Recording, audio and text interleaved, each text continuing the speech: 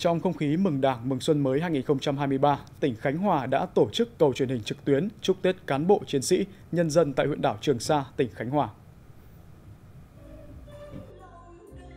Cầu truyền hình trực tuyến đã kết nối 3 điểm cầu tại huyện đảo Trường Sa, tỉnh Khánh Hòa là thị trấn Trường Sa, xã Sinh Tồn và xã Song Tử Tây để cùng chia sẻ không khí chuẩn bị đón xuân Quý Mão 2023 của quân và dân trên huyện đảo Trường Sa, tỉnh Khánh Hòa. Dù cách xa hàng trăm hải lý với đất liền, nhưng không khí chuẩn bị đón Tết trên quần đảo Trường Sa vẫn rất gần gũi, ấm áp, giúp các chiến sĩ, nhân dân trên đảo cảm thấy thân thuộc như Tết ở quê nhà. Thời gian qua cùng với cả nước, tỉnh Khánh Hòa luôn dành cho Trường Sa sự quan tâm, tình cảm đặc biệt về tinh thần và vật chất. Đây là nguồn cổ vũ động viên to lớn để cán bộ, chiến sĩ và nhân dân huyện đảo Trường Sa khắc phục khó khăn, vững vàng nơi đầu sóng ngọn gió, quyết tâm bảo vệ vững chắc chủ quyền biển đảo thiêng liêng của Tổ quốc. Nhân dịp này, tỉnh Khánh Hòa đã tặng quà cho các gia đình quân nhân, công nhân viên quốc phòng tiêu biểu đang làm nhiệm vụ ở quần đảo Trường Sa.